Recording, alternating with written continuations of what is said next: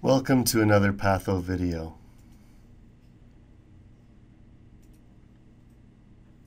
Today let's talk about H. pylori gastritis, a chronic inflammatory disease of the antrum and body of the stomach caused by the bacteria Helicobacter pylori.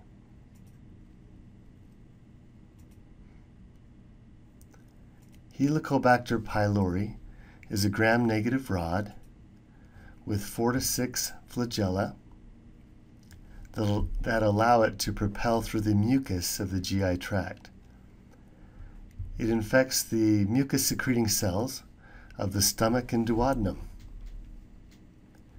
Transmission is believed to be from person to person by saliva or by water or food that has been contaminated by feces. Barry Marshall and Robin Warren first identified H. pylori in 1982. Their research established the link between H. pylori infection, gastritis, and peptic ulcer disease Due to their work, we now know that peptic ulcers are caused by H. pylori and not spicy foods or stress. During their early research efforts, Barry Marshall was becoming frustrated with the negative response to his work and decided to drink a solution of H. pylori to prove his point. He became quite ill, and the press got a hold of the incident and printed a newspaper story entitled Guinea Pig Doctor Discovers New Cure for Ulcers and the Cause. Later in 2005, Marshall and Warren received the Nobel Prize in Medicine for their pioneer work in discovering the true cause of ulcers. H. pylori is able to use its flagella to move through the more acidic gastric fluid through the mucus to the underlying epithelial cells where the pH is less acidic. Once H. pylori gains access to the epithelial cells, it uses adhesins that allow it to attach to the gastric epithelial cells. Two such adhesins are BAB-A and SAB-A. BAB-A and SAB-A respectively bind to Lewis B and sialyl Lewis X expressed on the surface of epithelial cells of the gastric mucosa.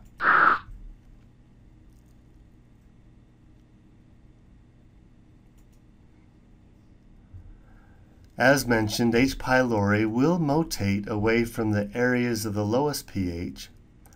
It will also produce an enzyme called urease, which will metabolize urea into carbon dioxide and ammonia, which is basic, and will take on a hydrogen to neutralize the acid in the immediate surroundings of the bacteria.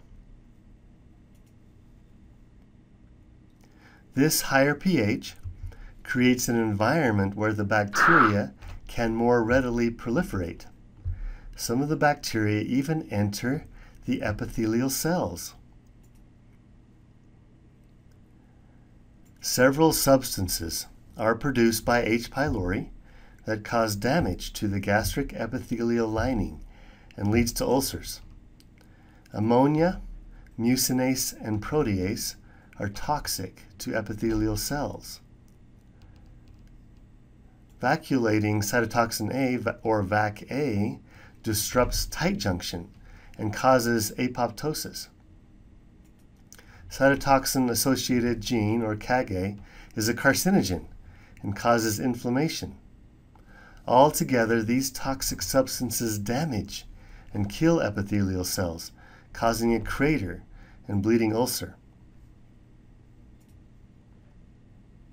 One way to help prevent an H. pylori infection is to increase the intake of cruciferous vegetables, such as Brussels sprouts, cauliflower, and you guessed it, broccoli. Raise your hand if you love the taste of cruciferous vegetables. Many people don't really like the taste.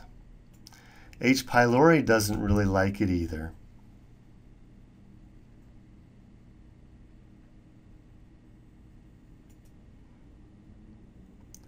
One of the ways to diagnose H. pylori is by using the carbon urea breath test. For this test, the patient first drinks radiolabeled carbon 13 urea.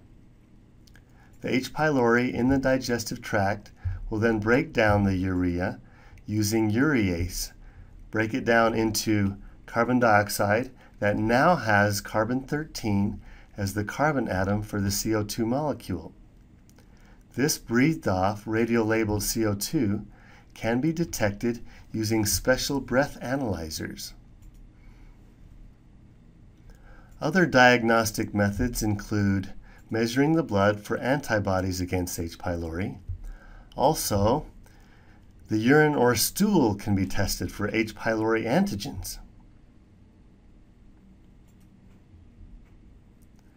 The most accurate diagnostic method is to take a biopsy from two sites and then culture the potential microbes or do a urease test on the biopsy specimen.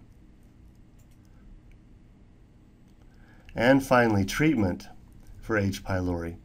A common treatment is to use Prevpac, which contains two antibiotics to kill the H. pylori and a proton pump inhibitor to decrease acid production so the ulcer can heal.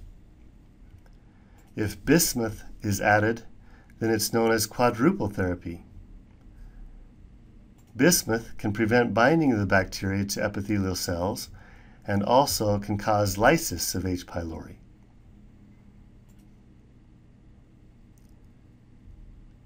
As always, thanks for watching.